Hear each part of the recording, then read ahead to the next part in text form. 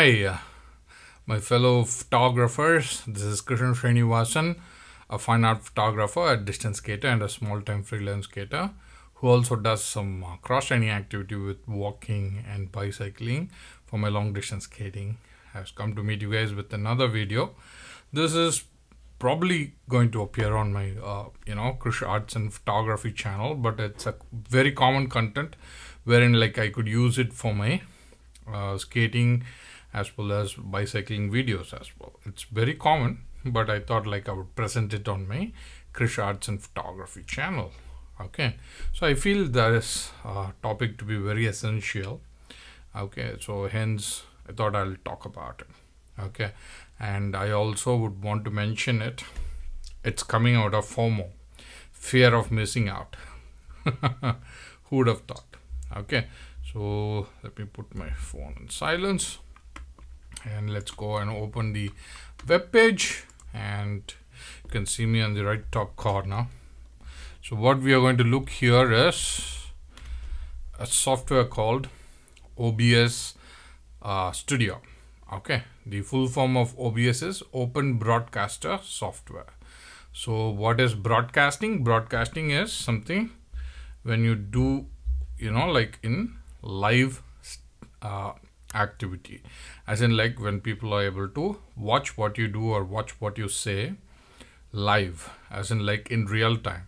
I'm sitting in Srirangam i'm talking and making this video. If people were able to see this video in real time from anywhere in the world it's called live streaming and that's also called broadcasting. That's what people are going to uh, you know use this software for. I've been using this software for very long time when I said uh, have been using this software for a lo very long time, it doesn't mean me, necessarily me. I'm talking about the world is using this software for a very long time. So this software has been existing for many, many years. I don't know when. And uh, uh, for the fact check, I can say that I heard about this software for the very first time in my 2020.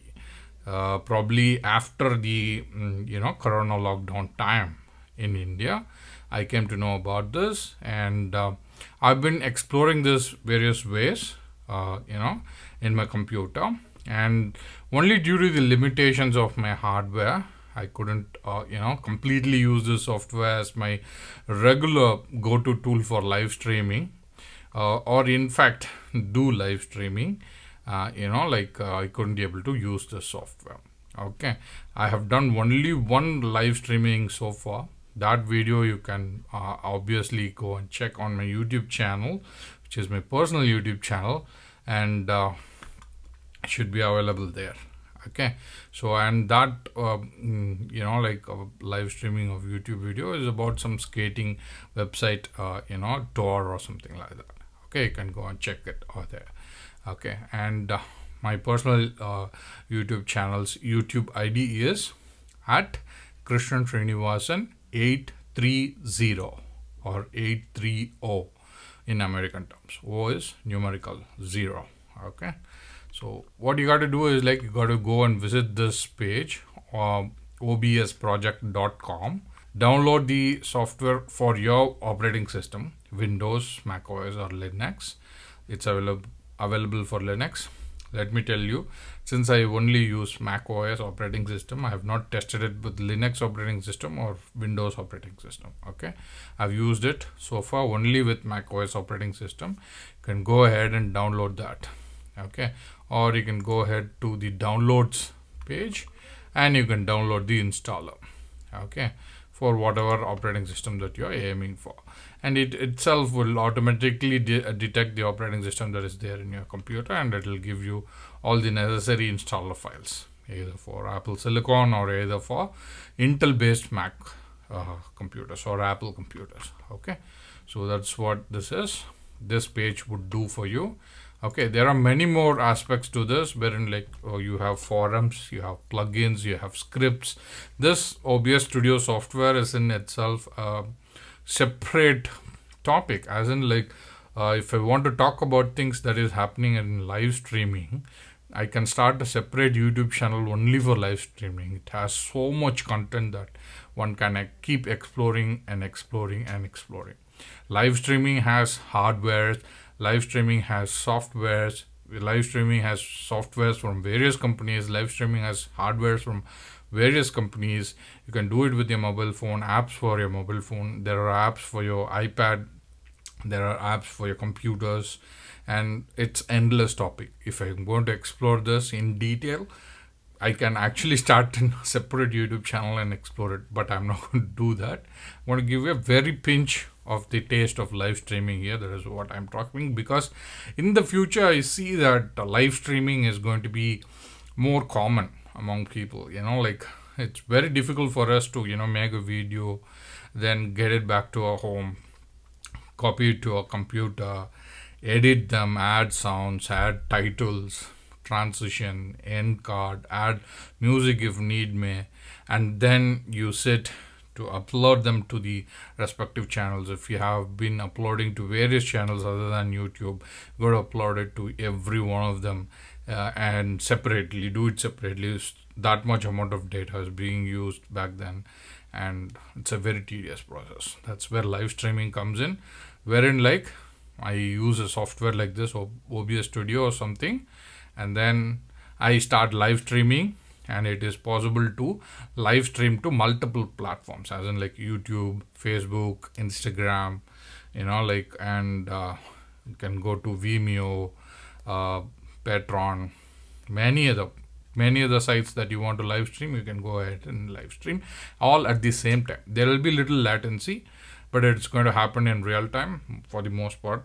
And uh, you don't have to edit. That's the biggest thing. And whatever you get as a live sound that is going to be recorded. Okay? So enough of that very very long intro. Let's cut everything else. Imagine that i have downloaded this software installer and installed it okay and i have it in my computer so this is how OBS Studio's icon would look on Mac OS operating system. For most part, it's going to be the same on Windows and Linux as well. Okay, depending upon the GUI that you have on Linux, as in like, I have been using Linux. I have used Linux for about 1.75 years for sure, and it was on and off with Ubuntu, and probably you could call it three years. Okay, so. Uh, well, I 1.57 years, you know, I've been uh, regularly using Fedora and I had uh, GNOME as my GUI. So I think OBS Studio should work fine with that setup. But my Fedora was like with AMD machines. So Linux and AMD machines always have a little bit of conflict, but it works well.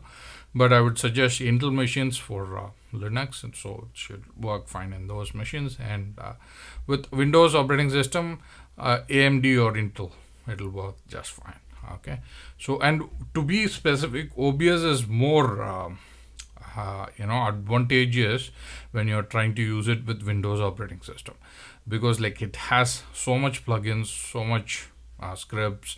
You can enhance the software as you wish and you can bend it as you want okay? So but it needs a powerful uh, computer okay? That is the key underline of this entire thing. You will need a powerful computer okay? With a uh, quite amount of ram say like um, 16 to 32 gb of ram for live streaming. And you need a very good uh, like probably 10 core processor you know at least uh, to handle the amount of data that it is doing okay so this is obs studio for you this is how it looks as soon as you open the obs studio so you can consider this as my intro and intro to the topic and intro to the software. Okay.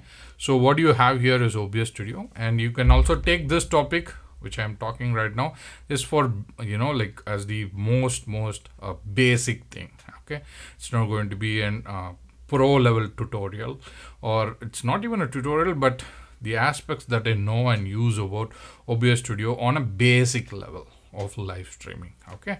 So when you open the software this is how it looks okay? What you see here a very big window which is blacked out okay then it says like something called scenes on the left. Then you have sources here. Then you have audio mixture. Then you have scene transitions here. And then you have various tabs which is talking about start streaming start recording start virtual camera studio mode settings exit okay. On the bottom you have some signal uh, thing that is there. Then you have uh, times. And then it talks about the CPU power and then it talks about the frame rate. Okay fps stands for frames per second. Okay you don't have any sources click the plus button below and or right click here to add one all those things. Then you have some gear icon which is like settings you have more options for it down arrow up arrow and many many things. Okay properties filters and then you have menu and all that. Okay so this is OBS Studio software just like that when you open and when you look at it you have so much detail already here. It also says the version and everything. For your uh, convenience I'll show the OBS Studios version of mine. So it is 30.2.3 64 bit version. OBS Studio is a free and open source video recording and live streaming software. Okay and there are plenty of people who are supporting this project you can understand by the amount of uh, you know regular constant uh, you know supporters they they have been uh, shelling their money on this software on a regular basis. That's how the project is being built and it's going growing and bigger bigger day by day okay? So these many supporters you can see how many users are there for OBS Studio okay? So thanks to all the Patreon uh, supporters contributors. I haven't contributed to OBS Studio. I've been just using it. Uh, not for live streaming all the time just only once but you know to study and learn about it. So if not for them I wouldn't be possible. So thanks to every single people who donate and make this open source software available for free for everyone okay thank you so much guys. So that's the version of OBS Studio I have it on my computer. Okay so if, uh, if I go here and if I go to check for the updates it's going to check for the update and let me know what it is.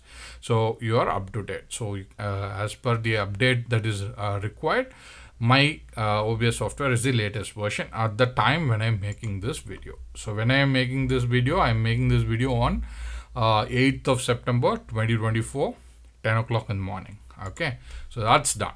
Okay? What else we need here? We need to understand one thing. So what do we do when when we make a video? Forgive me uh, it uh, my uh, Huion tablet always does it when I open a you know like pen or uh, something to scribble on the screen. Okay? So what do you do when you make a video? So what do you do? Let's imagine a three act structure. Okay okay this is what you do in most of the video. As in like you give an intro to the video then you start with the plot okay?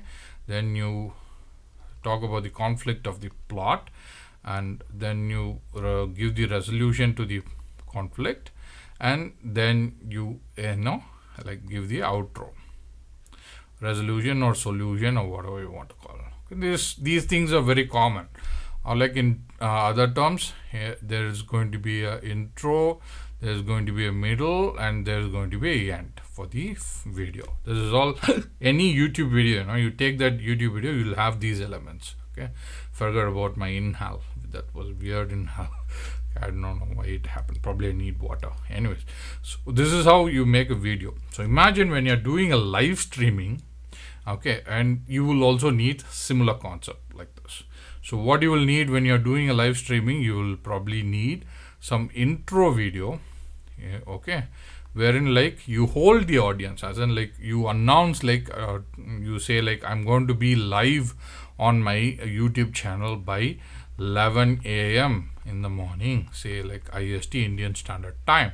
So what you do is like you don't start your video ex exactly 11 you know not many are going to be available at that time so you give some 30 seconds of uh, time for people to assemble to watch your video. You'll need some viewers to watch your video right? You can't go on streaming for nobody right?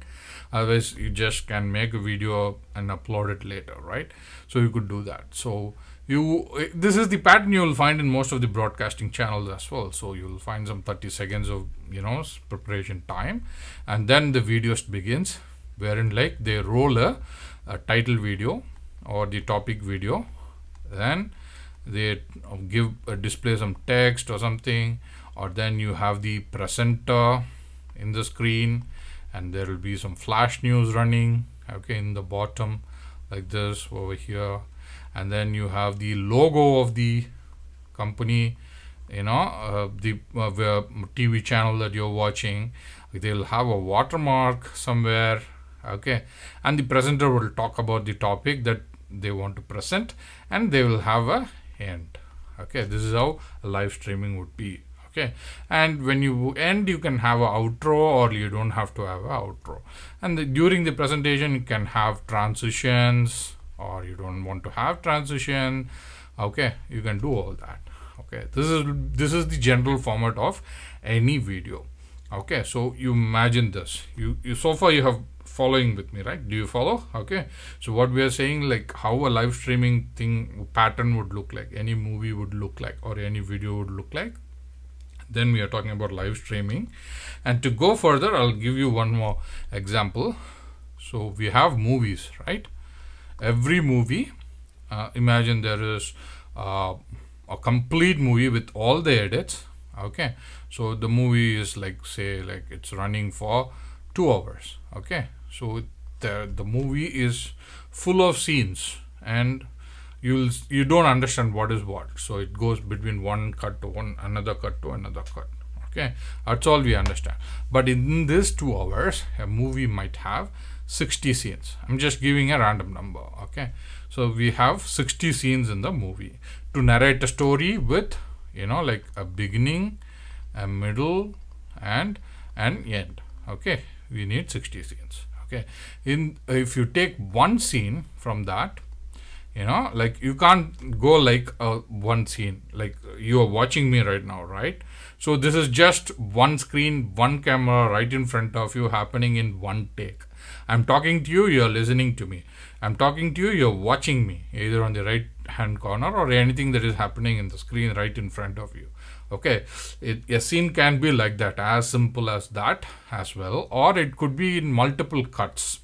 Okay so you're watching me on the right top corner then i will move myself to the left bottom corner or like i'll go completely into my video okay as the full screen okay or like i could have uh, you know like uh, various shots. She scene is composed of num various number of shots. It could be close up it could be long shot mid shot you know the various type of shots. You compose use those things and when during the shot a character might be uh, you know having a dialogue or something like that you know and many things. And so what this is talking about is you basically need a camera okay and then you will need an audio source. So this is very very important. These are the two essential things to make any video and these are the two essential things for live streaming as well. So that is how this entire OBS studio is built upon okay? I'll tell you how okay? So let's remove that. This is uh, as, as, a part of the intro let's go and understand the uh, software first okay let's go. Uh, for now i've given you the brief introduction of what what is what or like how uh, things are what is obs studio where you download and all that and uh, how um, you know a live stream scene is constructed or a video is constructed or any youtube video is constructed and how a live streaming video is normally appearing on any broadcast channels and then how you do it in obs studio that's why we are going to uh, take a look at that. But before that we need to understand the software which we'll see it shortly